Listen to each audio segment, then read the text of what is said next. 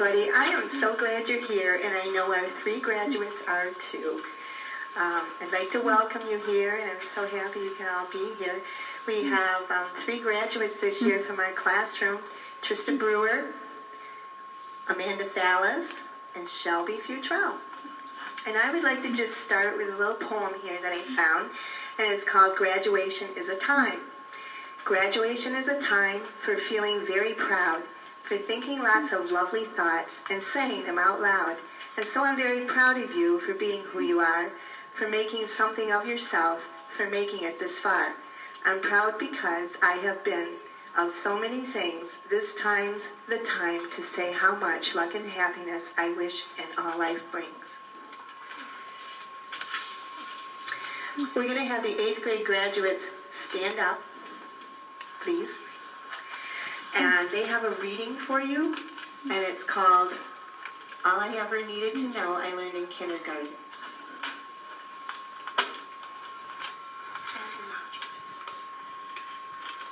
Do I use the microphone? Yeah.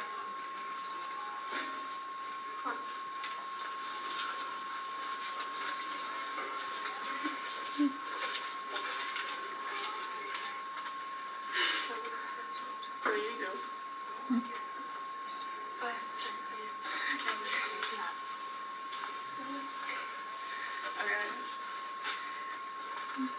All I really need to know about how to how to be, how to live, how and what to do and how to be I learned in kindergarten. All wisdom is not learned upon graduation, but in the sand piles at school. These are the things. Share everything, play fair, don't hit people, put things back where you found them, clean up your own mess, take things that aren't yours, say you're sorry when you hurt somebody. Wash your hands before you eat, flush. Warm cookies and cold milk are good for you.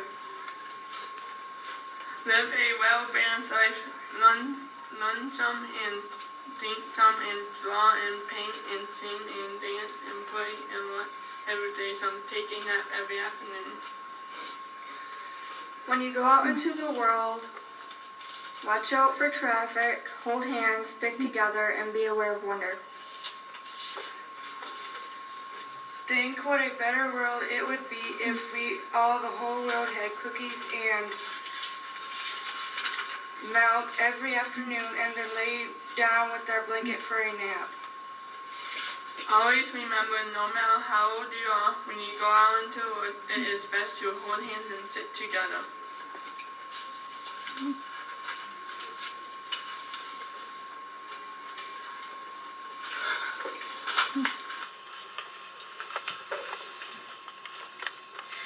Okay, um, Amanda happens to be a part of our band here in eighth grade, and she has worked up a little piece for us that she would like to play. And she is a drummer, a percussionist, as I have learned to say from my percussion husband. Anyway, um, she's going to play a little drum piece for us on her snare drum. Do you want to play it in the back or do you want to bring it forward? I'll Okay. Hear this.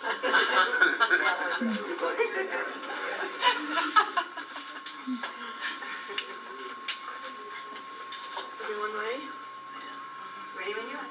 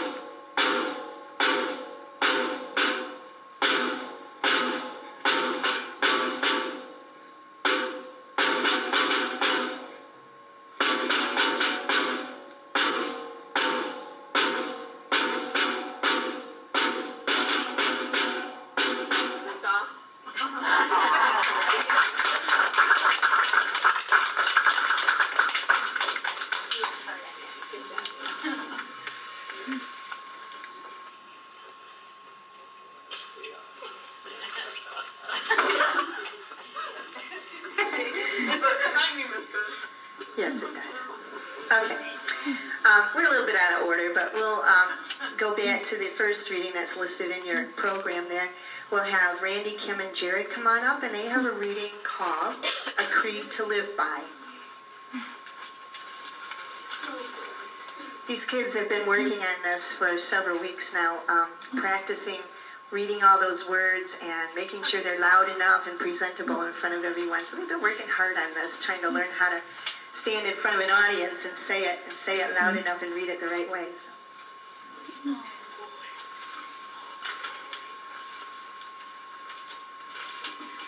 It is because we are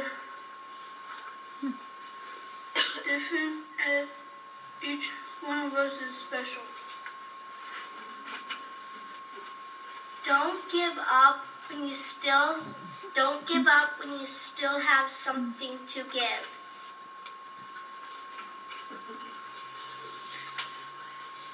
Just move it up.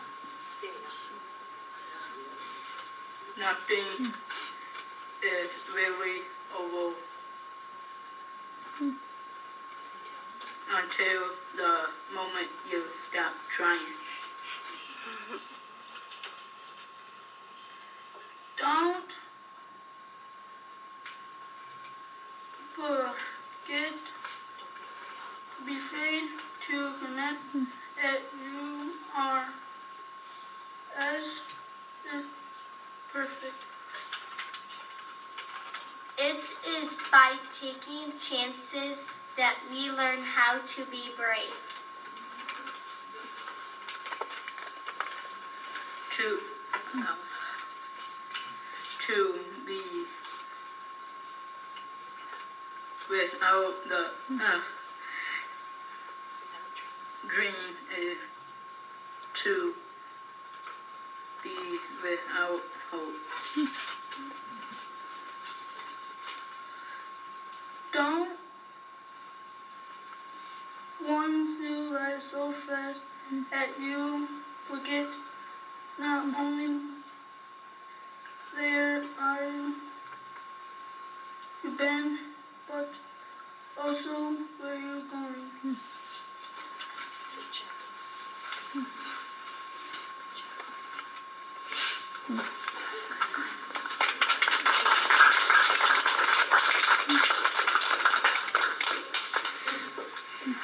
Happen to have, and I know our eighth graders have been in the room for about three years now, some of them.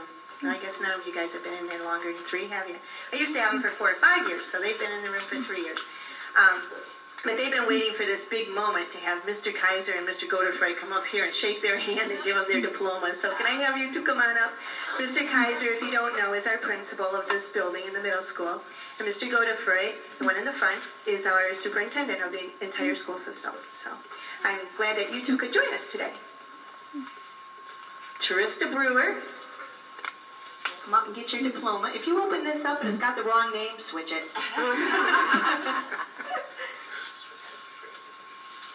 Amanda Fallis. And Shelby Futrell.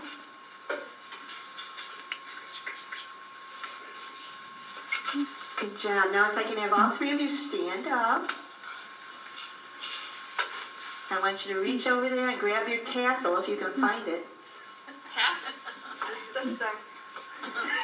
That thing hanging down. grab your tassel and turn it over to the right.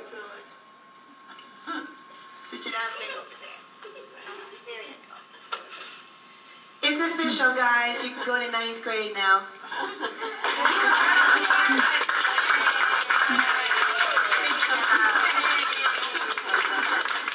Hold on, you're jumping the gun. We're not quite done.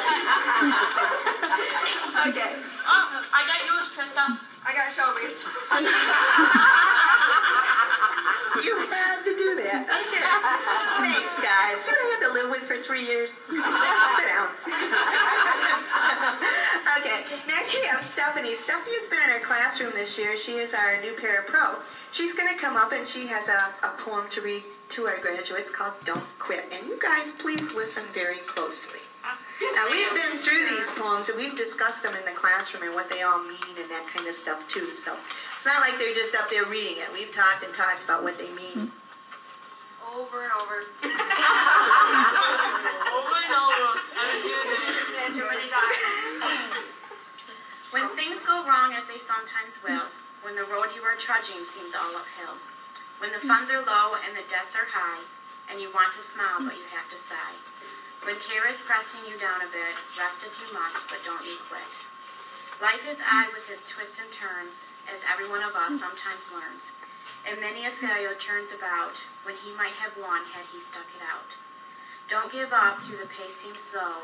You may succeed with another blow.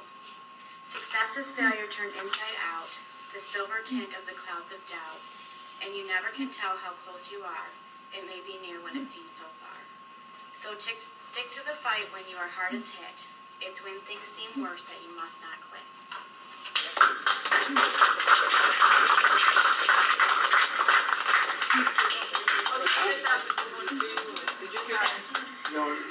Okay, and in closing, again, I want to thank you all for being here, and I just have um, another special poem here that I located that I want to read to you girls. Um, this is called Each of Us Must Climb Our Separate Mountain. Each of us must climb our separate mountain to reach at last our own extended view. We can be no more than what we are, yet that is quite enough for us to do. The world is far too great for comprehension, and so we only know what we can know but given the abilities we're given, that's still a long and weary way to go. Yet on the way, how beautiful the moments, how good it feels to have some skill or art, how wonderful to pause in awestruck wonder at what must fill the unsuspecting heart. And so we're proud of each of you today for all you've learned and all you've tried to learn. Knowledge brings the deepest satisfaction, not least because it's something that you earn. And we hadn't read that one yet, and they haven't heard that, so they paid a bit of attention this time, didn't they? okay, ladies, stand up, and I'm going to let you march out the same way you came in. Shelby. Calvin, hello. Jasmine. Ten. Miss Rose, we should have this. We normally do. You guys have seen it so many times, I knew you could make it.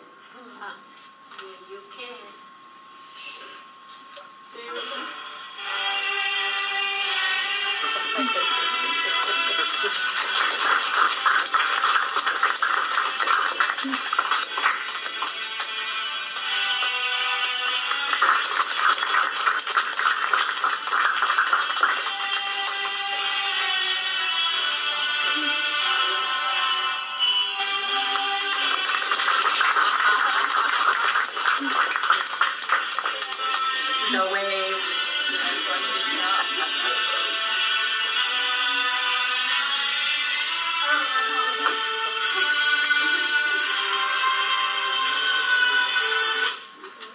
Thank you, everyone. Please stay and join us for our hot dog.